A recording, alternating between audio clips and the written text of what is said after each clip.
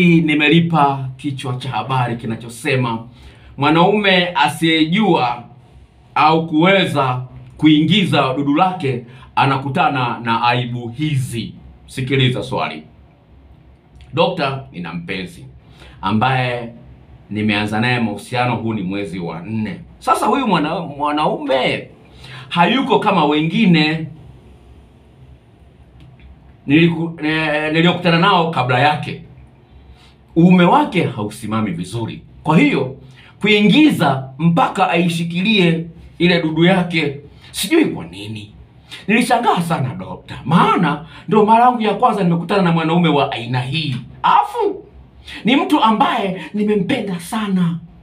Na uhusiano wetu hauna muda mrefu kama nilivyokuambia, na hivyo anakwepa sana staili ya mimi kumkalia juu, yaani yeye anakuwa amelala chali, mimi nakalia dudu lake, akimwaga tu ume wake unalegea kabisa. Yaani unaweza kuona jinsi gani? Sawa sawa sawa sawa, unaona unaona unaona kazi jinsi gani wanaume mnavyowatesa wanawake. Huyu ni dada amekupenda, lakini ngo, ngoma ya wakubwa imekushinda. Sikiliza, mwanaume mwingine anaita kilio hicho hicho, dokta, nina tatizo la nguvu za kiume. Uume unasimama alafu unasinyaa ghafla. Unaweza kusimama ila unakuwa legelege, haukazi kiasi kwamba napata shida kuingiza ukeni. Nilishawahi kushindwa kumbikili msichana kwa tatizo hilo hilo. Pia nikifanya goli moja siwezi kabisa kurudia mpaka demu anakasirika, na bao lenyewe la kipekee halimalizi dakika mbili. Dokta, sijui ni punyeto imeniathiri, naomba unisaidie. Mwanaume, naomba unisikilize kwa makini sana hapa. Hii linawahusu nyinyi kwa asilimia tisini na nane pointi tano. Mwanaume anapasa awe na nguvu za kiume. Ume mwanamke atakishika akishika tu ule ume anasikia raha. Ume umesimama umekaza, anasikia raha kwamba na mwanaume hodari, mwanaume anayejiweza. Sasa anaposhika ume umesimama, lakini umelegea kama ndizi iliyokaribia kuoza. Unaona ndizi iliyoiva alafu imeiva nakaribia kuoza, imekuwa tepe tepe. Sasa hiyo mwanamke hata kuambia kwamba ni kasoro, hata kuambia kwa kadri hali hiyo inavyoendelea kuwepo, hui hui hangaiki, ataanza kuchepuka.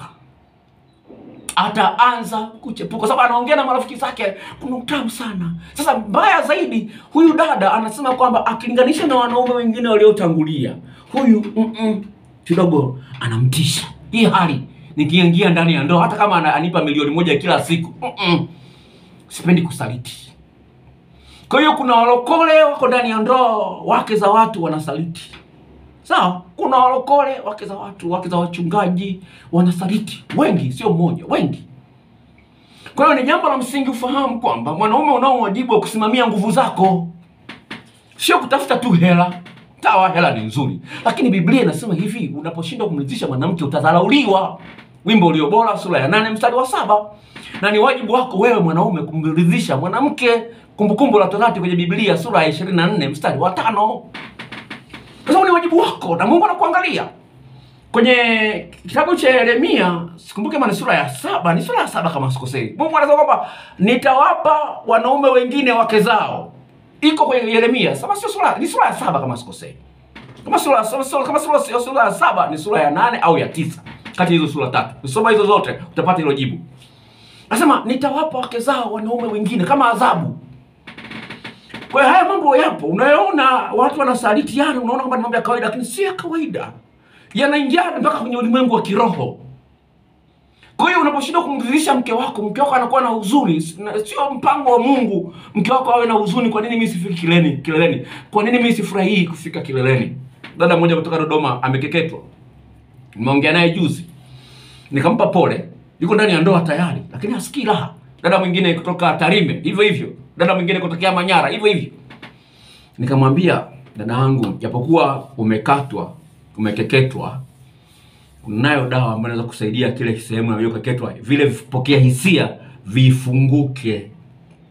Vi, kwanza vinaanza vinatanuka, vikitanuka vinafunguka, vifunguka, utasikia hisia hata kama umekeketwa. Lakini sasa kwa mwanamke ambaye hajakeketwa, lazima mwanaume awe na nguvu za kutosha, na hata aliyekeketwa naye vivyo anahitaji mwanaume mwenye nguvu za kutosha.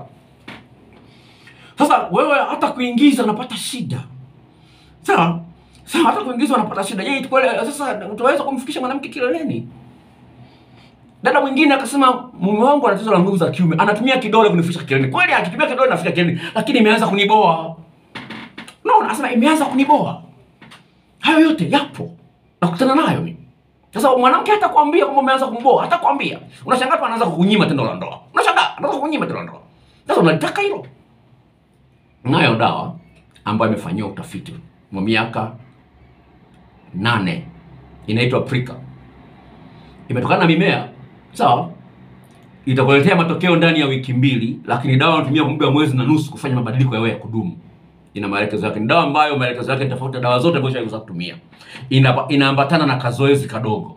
Unakaa kwenye kiti, unafanya kama vile unajizuia mkojo, lakini unakuwa huna mkojo, alafu unaachia. Kwa hiyo utakupa maelekezo, unabana kwa dakika ngapi, alafu unaachia baada ya dakika ngapi, baada ya sekunde ngapi. Kwa hiyo kuna kwa hiyo kuna maelekezo yake. Baada ukishafanya hilo zoezi, ndio unalamba hiyo dawa, ni ya unga unga, unalamba alafu ndio unakunywa maji. Ikutana na mate, inafanya kazi vizuri, itakusaidia uume wako usimame, ukakaza na ukachelewa kumaliza na iwe rahisi kurudia. Kwa hiyo ni jambo ambalo unapaswa ulifanyie kazi, na kama ulijichua, wale waliojichua, ningependa wenyewe hivi niwape waliojichua na walioangalia picha za ngono kwa muda mrefu, waliojichua na walioangalia picha za ngono kwa muda mrefu wanakutana na matatizo kama hayo, na waliokuwa na matatizo ya kukaa na mkojo kwa muda mrefu, kukaa na mkojo kwa muda mrefu inakuletea madhara kama hayo. Kama ulipata matatizo ukawa una lazimisha haja kubwa, kuna watu wengine, kaka mmoja nilimsaidia dawa hii na kuambia ya Afrika ya nguvu za kiume. Huyu kaka mke wake alimwambia mm, a- a- a- alimwambia rafiki yake wa kike, bwana, mume wangu na matatizo haya ya nguvu za kiume, imekuwa shida muda mrefu kidogo. Yule dada akamwambia mume wangu amesaidiwa na Dokta Mwaipopo. Hujawahi kusikia redioni? Akasema sijawahi kumsikia, ana dawa inamsaidia. ina, akamwambia uh, yuko Mwanza yeye, eh, yuko Mwanza yeye. Akaenda akamwambia mume wake. Mume wake akamwambia mke wangu, si unaona nimekunywa madawa mengine machungu kweli. Kumbe ambayo kipindi kile ndo kuna ile mifuko ya Rambo ya plastic, mifuko ya plastic. Asema nimechemsha madawa mengine machungu kweli kuja Kenya eh, eh, eh, kunisaidia. Akasema dok, na akamwambia mume wangu, lakini huyu ushahidi tunao. Mume wa, wa, wa, wa Jenifa amesaidiwa na huyu dokta na yuko hapa hapa Mwanza. Wenyewe wanaishi maeneo ya Igoma. Akaambia amuuliza hiyo dawa inauza shilingi ngapi? Akaambiwa bei. Kipindi hicho nilikuwa nauza shilingi 30, siku hizi ni shilingi 45 hiyo dawa. Sawa, imepita miaka kidogo. Ah, shilingi 30 akampa shilingi 30 fuata. Akanipigia simu yule dada. Nikamwambia ukifika Mwanza hoteli nipigie simu kama unafahamu jengo la Nyanza, ulifahamu ukifika Mwanza hoteli nipigie simu. Kafika Mwanza hoteli kanipigia dada, dada mzuri kweli, mweupe, kavaa Eh, eh, jamani kama vile Rebeka anavyovaa, hata akivaa Rebeka, unamuona Rebeka unamuona ah, anapendeza kweli. Yaani ina mvuto, mvuto mkubwa sana. Kaja akanielezea kesi hiyo, nikampa hiyo dawa. Kumsaidia. Sasa shida ile kanini nakuletea ushuhuda huu ni kwamba huyu kaka alikuwa na tatizo lingine, alikuwa hajalipatia ufumbuzi. Yaani inaweza siku nne hajaenda haja kubwa. Kwa hiyo mara nyingi alikuwa analazimisha haja kubwa. Ile dawa alipoitumia tatizo la nguvu za kiume limeisha, tatizo lile la kulazimisha haja kubwa na likaisha. Kwa hiyo tatizo la kulazimisha haja kubwa ndio sababisha tatizo la nguvu za kiume, yeye alikuwa hajui. Sasa kuna watu wanakuja usini kwangu na waambie hivi, utakapoitumia hii dawa, utakapokuwa umepona, jitahidi sana kuepuka kukaa na mkojo kwa muda mrefu. Hilo ni tatizo. Eh, asema basi mimi ndio tabia yangu hiyo. Hiyo ndio tabia yangu. Kwa wengi tu. Mwingine alikuwa dereva wa magari makubwa. Haya magari yanasafiri kwenda sijui Kongo, sijui wapi. Sasa daktari, nikumbe kwa tabia yangu. Basi ndio yeye imekuponza. Kwa haya mambo yapo, tuwasiliane, naweza kusaidia upate dawa ya uhakika, itaweza kusaidia. Achana na tatizo hilo la kumkera ambalo linamkera mkeo. Niingie kwenye swali lingine, msikilizaji. Maswali bado yapo. Eh,